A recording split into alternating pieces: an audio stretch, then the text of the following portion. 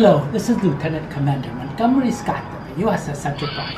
If I look and sound a wee bit different today, it's just because of a minor transporter malfunction, nothing to be worried about. Well, I'm here today to talk to you about my phaser modification. Now, what phaser modification might that be, you're asking? Well, it's a phaser modification for these Diamond Select Toy phasers. I know, you're not supposed to take it out of the original packaging because it affects the resale value, but bloody hell, what's the a toy if you can't play with it? Mean, this is kind of a cool toy. It makes phaser noises.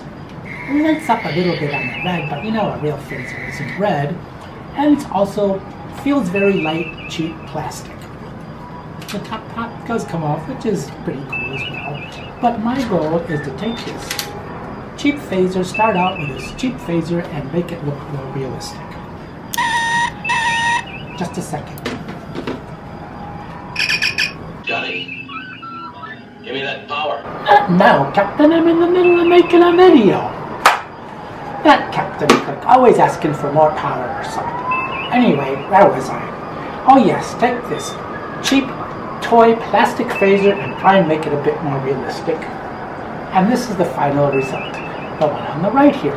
Uh, they both look the same from a distance, but uh, now the, many of the plastic pieces on this one, on the one on the left, such as this nozzle here, uh, some of these controls, the grid on the right, they've all been replaced by actual machined aluminum metal pieces, giving it a much more realistic feel. Uh, and the one other really cool thing about this is that I have now installed a laser inside, so it is actually more like a real phaser. Uh, I don't know if you can see the, the blue phaser here. I will point it at the camera. And hopefully that is not destroying the camera lens or the camera sensor. Uh, and we will see. You can see it a little better in the dark here. Especially if I put some baby powder and it kind of shows off the, the beam. In addition to uh, these modifications, um, I added a couple of new settings. Obviously, we're familiar with the killer setting stun setting, but now, since it's a laser, we have um, an Amisa cat setting. In addition to that, I added one interesting feature called uh, a haircut setting. Yes, it is useful to be able to give yourself a haircut with your phaser. So, uh, let me demonstrate.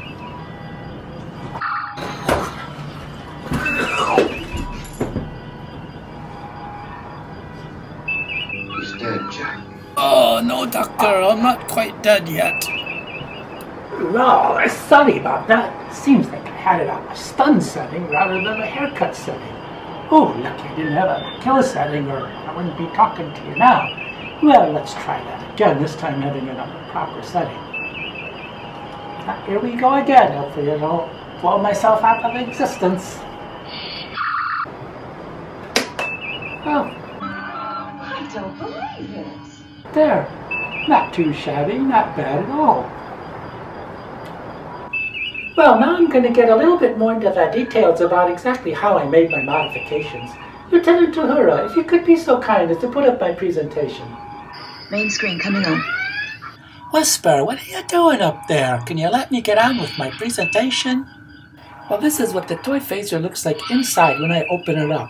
As you can see, there's a lot of wee little pieces, and I'm going to have to gut it, take them all out in order to make room for the new laser that I'm going to put inside. Here's an image of all of the metal pieces that are going to be replacing all of the plastic pieces in the original toy. I bought these off a seller on eBay. Not included in this image is the laser, which is a totally separate piece. For the laser, I just removed the laser module from a standard office pointer laser uh, that I got three for 15 bucks off of Amazon, a red, green, and a blue, and of course I used the blue one. I also wet sanded and painted the plastic shell of the phaser before putting it all back together. What the? That's not supposed to be in here. Here's an image of the inside after completion.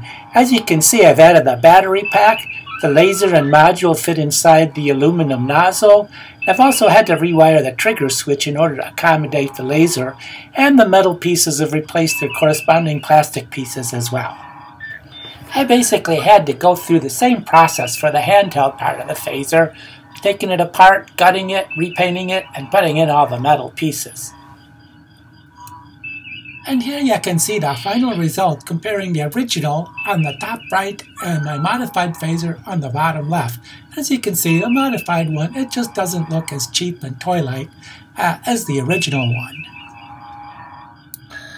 Well, here's an example of using the phaser on the Amuse Cat setting. As you can see, Whisper is definitely amused.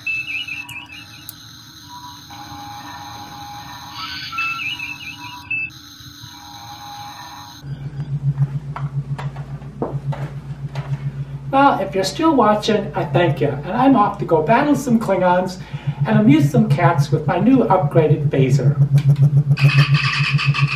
Energize! I'm too lazy to walk down to the transporter room.